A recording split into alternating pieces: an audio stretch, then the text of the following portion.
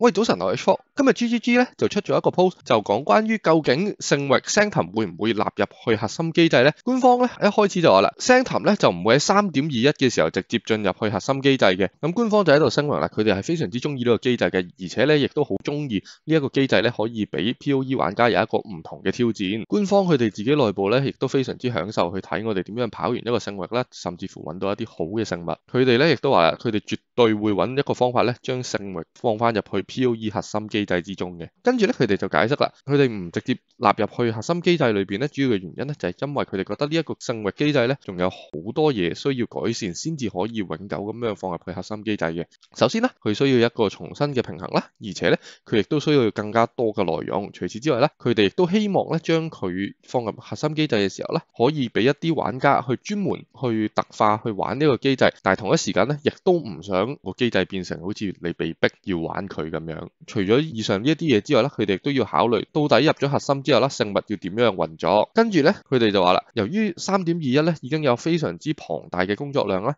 所以佢哋本身咧就已經冇將聖域嘅重製咧放入去其中一個需要做嘅項目之內嘅。咁佢哋希望咧喺未來嘅賽季裏邊咧會重新將呢一個聖物納入核心機制之中嘅。佢哋已經確定咗喺四月頭咧就會正式完季㗎啦。咁到時咧你所有嘅聖物啦同埋 invocation 咧都會被移除嘅。如果你仲有任何聖域嘅挑戰係未完成嘅話咧，依家咧就係最好嘅時機去完成埋佢啦。到咗最後啦，佢哋亦都多謝所有中意聖域嘅玩家。咁以上咧就係今日嘅消息啦。咁其實咧，大家喺開季之前已經知道啦，神化生物咧就唔會帶到落去標準。我相信當時咧，好多人好似我咁樣咧，都預咗聖域係唔會納入核心機制嘅啦。咁但係喺呢個 post 裏邊咧，官方亦都講到佢哋仲有好多嘢需要改善啦。你哋又覺得聖域入到核心機制嘅時候，需要有啲乜嘢改善咧？不妨就喺留言度話我知啦。如果有興趣想一齊吹水嘅朋友咧，